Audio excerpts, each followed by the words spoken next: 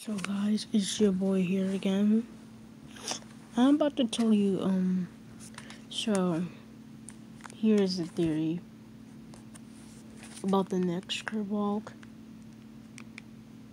So, in my opinion, I think I might just do this on the curbs from curb, well, for curb walk, wave 6 and wave 5.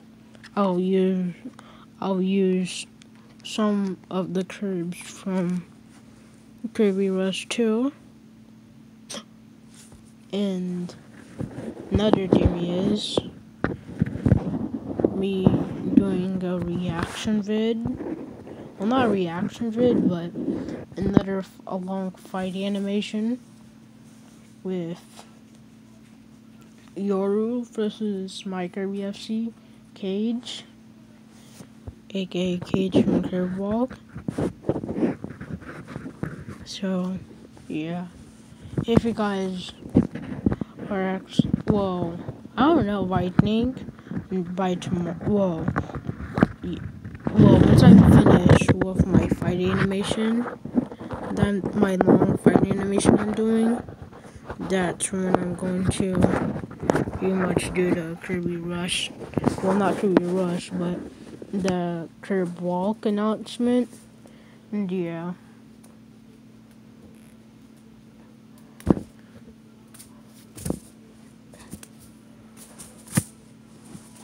And also, I think I may just do another fight animation of Mem Korb versus Vivian.